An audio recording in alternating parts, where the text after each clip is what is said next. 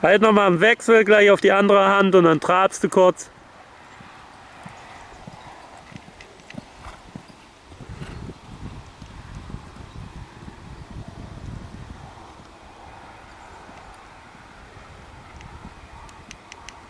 Gut, dann noch einen Moment traben und dann ist gut.